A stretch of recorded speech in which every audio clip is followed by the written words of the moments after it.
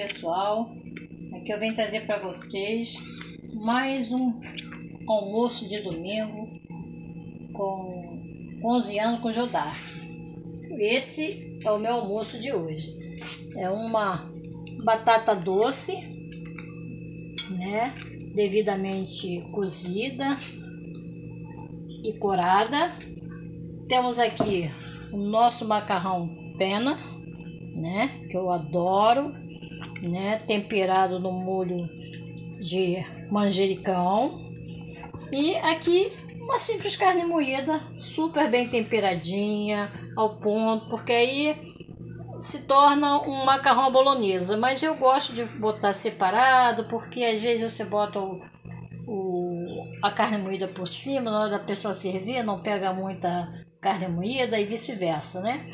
Então, se a pessoa também tiver vontade de comer a carne moída, come. Também temos aqui o meu macarrão, né? As pessoas costumam dizer que macarrão sem queijo é igual amor sem beijo, né?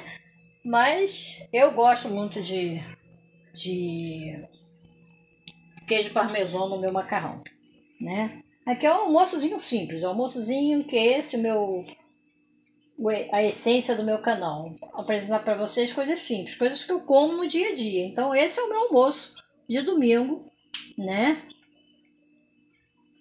Para apresentar a vocês. Tá bom, meus amores? Sem nada de muitas pavlagem, né? É o que eu estou fazendo, é o que eu gosto de comer, é o que eu vou comer hoje com a minha família, minha pequena família.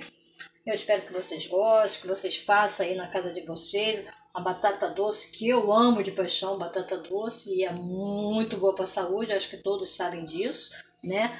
Assim como a carne moída também é de fácil digestão, né? Ainda mais para as pessoas que já têm uma certa idade, como eu, né?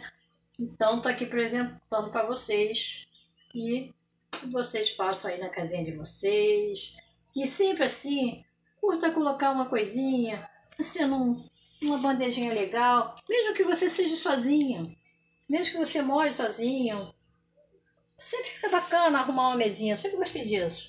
Botar uma bandejinha bacana, um pirex ou um pratinho bonitinho, sabe? Porque é, é como cozinhar é como se vestir, é como moda. Você tem que se vestir para você. O menos é mais, né? Eu espero que vocês gostem dê o likezinho de vocês, dê o joinha de vocês, se inscreva no canal, clica lá no sininho para receber novas notificações e me siga no Instagram, Cozinhando com Jodark. Um bom domingo a vocês, muita paz, muita saúde, um ótimo início de semana para todos nós.